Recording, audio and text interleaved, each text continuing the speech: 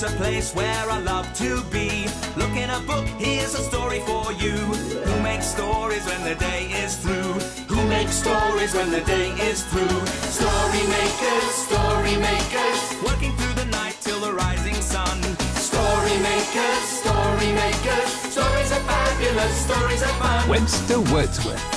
Jelly and Jackson. Working through the night till the rising sun. Story makers, stories are fun. Come and be a story maker. I think it's time to go, everyone. Put that on the shelf. Off we go.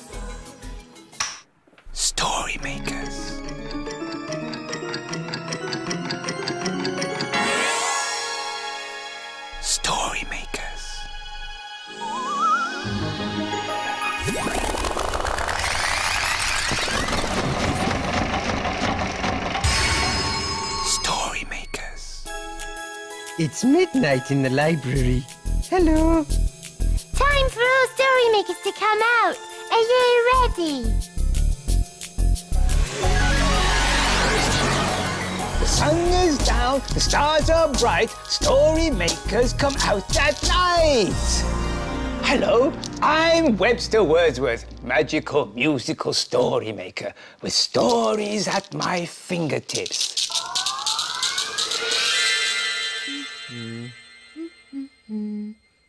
Oh, nice.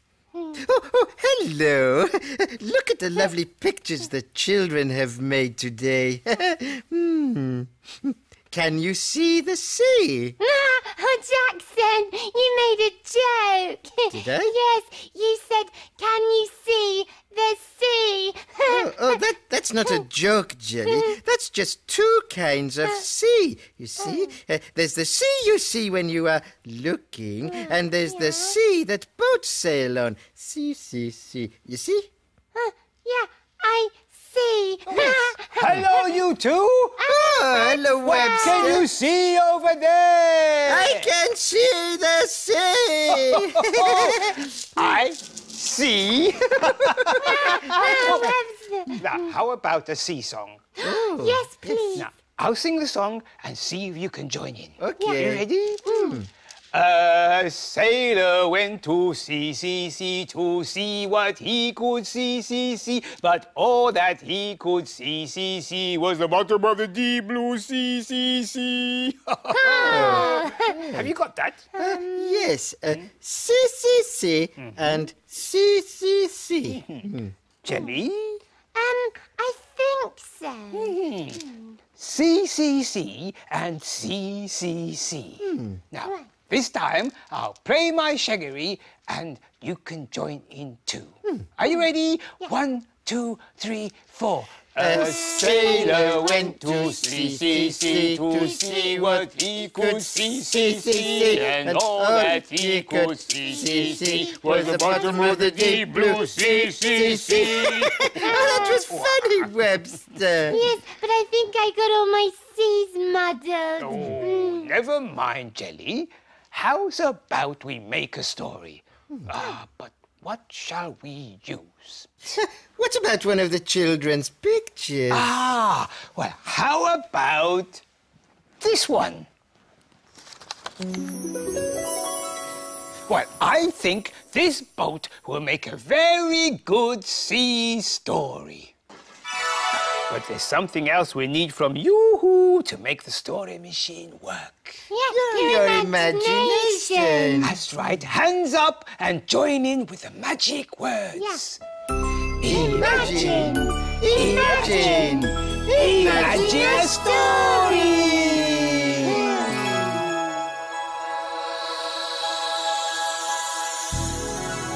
Oh, it's a blue cow story. And it's called Blue Cow and the Boat. In a field not far away is a herd of cows grazing quietly. One of the cows is most unusual. Blue Cow wonders, wonders about the big world beyond her field. One day, Blue Cow was looking at a small cloud that looked a bit like an island in the sky. I wonder what it would be like to live on an island. She's off again, said the other cows. So Blue Cow caught the bus that stops beside her field. I'd like a ticket to an island, please. There you go, madam. Hold very tight. And they set off for the Isles of Scilly.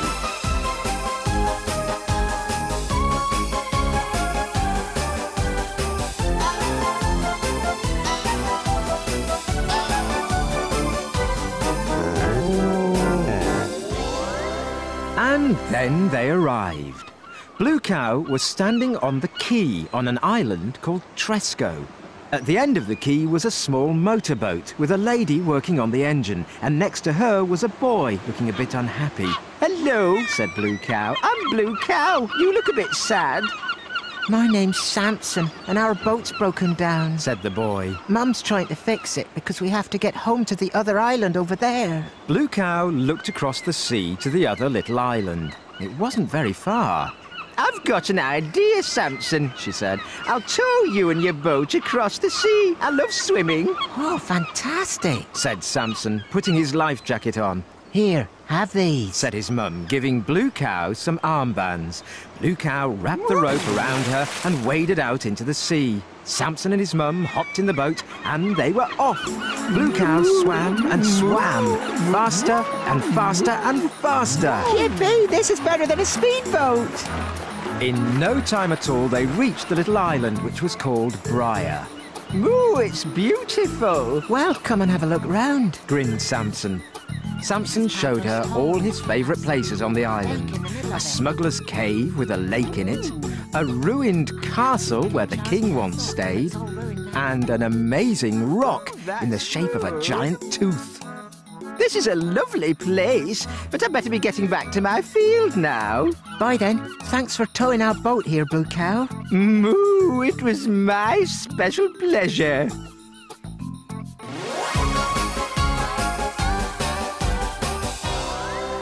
You'll never guess where I've been. Where have you been? I towed a boat to an island. Everyone knows that cows can't tow boats, but we know they can. Don't we?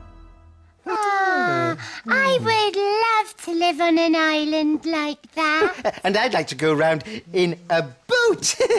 Can we play at boats, please, Webster? yeah. Oh, is that what the water's for, Webster? Oh, well, not for boats, but for floats. Floats? Yes, it's really a kind of experiment. Oh, I like experiments. Uh, can I join in, please? Yeah, me too, me oh, too. of course, my little pumpkin. Right. What do we have to do, Webster? Well, we have to see which one of these things float and which one sinks. Oh, good. Well, all the things that float can be mine, and all the things that sink can be jellies. All right, uh, all right. Well, which one shall we try first? Um, uh, uh, the stick, please. I, I think the stick will float because um, because it's a stick. No, no, it will sink.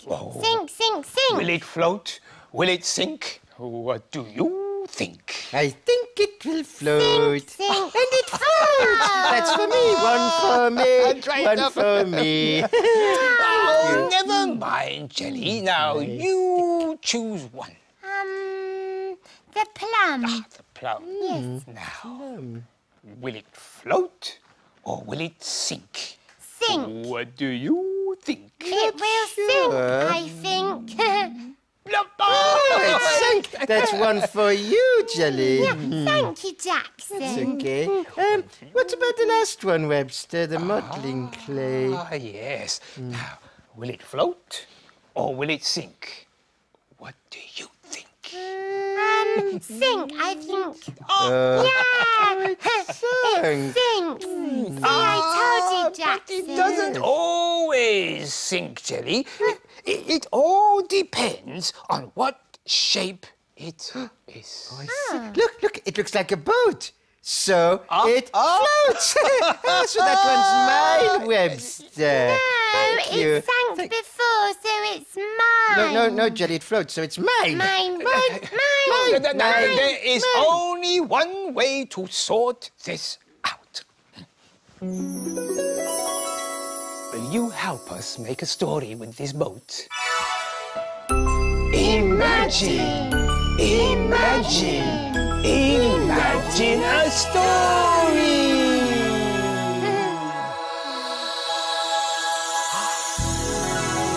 Oh, it's a playbook. And it's called Living on a Canal Boat. My name is Rosie. It's a long walk to my home, especially when we've got lots of shopping.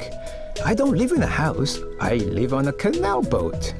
It's very long and thin, and it's painted red and blue. Mum carries my sister Holly onto the boat first and puts her in her chair. I put my dolly safely in her chair too. And now it's my turn. Mum lifts me onto the boat so I don't fall into the canal. Here it is. This is my home. Have a look around. Mum builds a fire so it's snug and warm.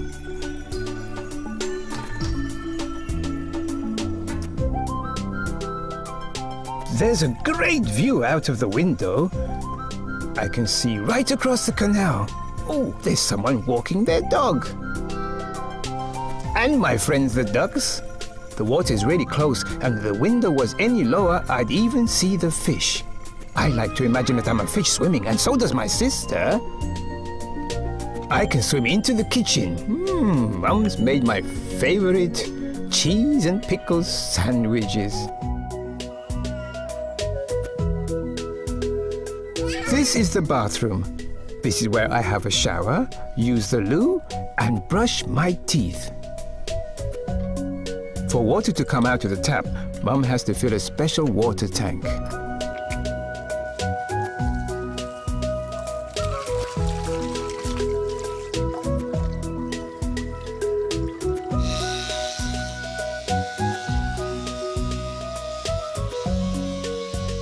My teeth are clean, so it's time for bed.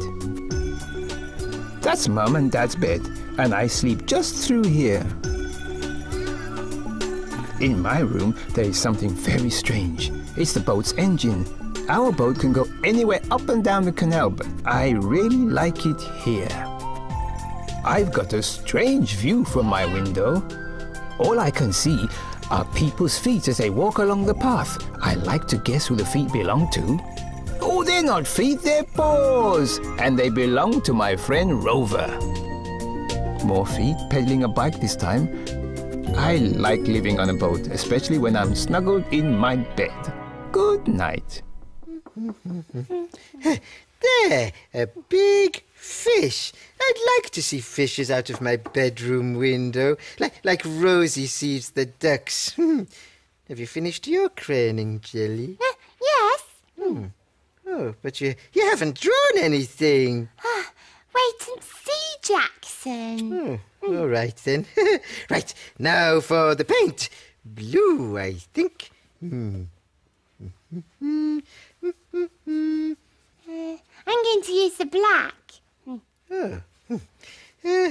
Paint it all over. Look, Jelly, my fish is swimming in the sea. Hmm. What's yours like? Twinkly stars. Oh. yes. Oh. I would like to see stars out of my window. Oh, that's very hmm. clever, Jelly. Yeah. Didn't think you'd drawn anything. Shall we put my picture in the story machine? oh, yes, and make a story. Yeah. Come on, Jelly. in it goes. Yeah, Are you ready to join in? Imagine, imagine, imagine a story.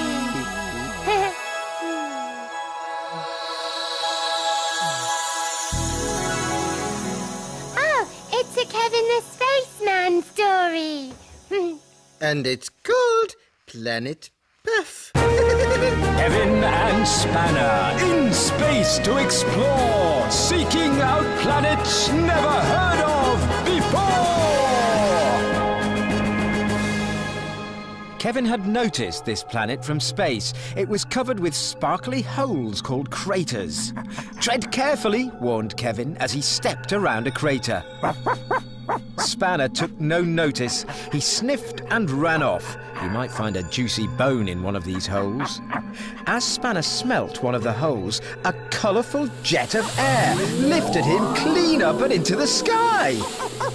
Barked Spanner as he was blown onto another crater, which with another colourful puff, whoosh, blew him high into the sky again. Don't worry, called Kevin. I'm coming. As Kevin stepped over a sparkly hole, a jet of air blew right up his space shorts and lifted him straight up. Ho, ho, ho! This is fun, giggled Kevin. Oh, Spanner, I can't reach you. He tried to catch Spanner, but the two travellers were being puffed from crater to crater.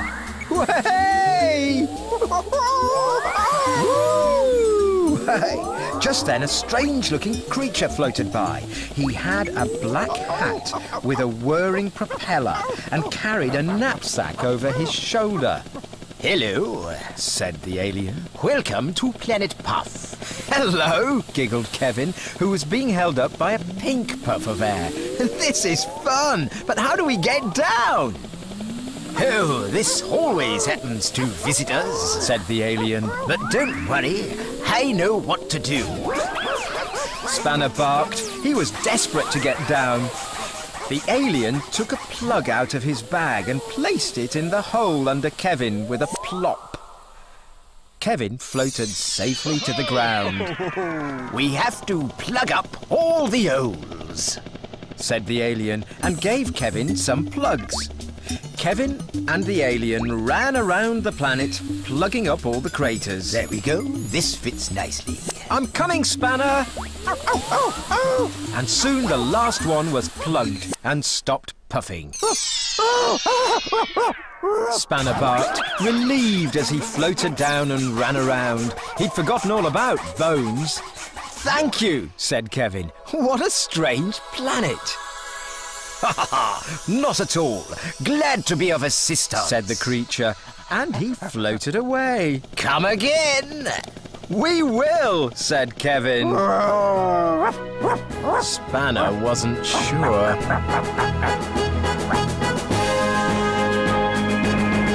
Oh, that was so funny. Spanner was floating in the air. Yes, uh, that's three things that float the stick, the boat, and Spanner. Right! Oh, but right now I've got a bit of a sinking feeling too. Look.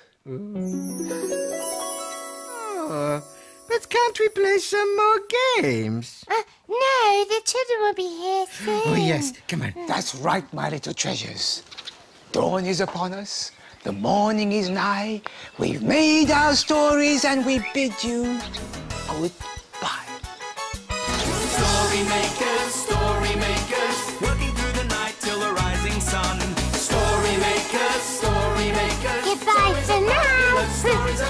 Come back and see us soon. Goodbye, story maker. Thanks for helping.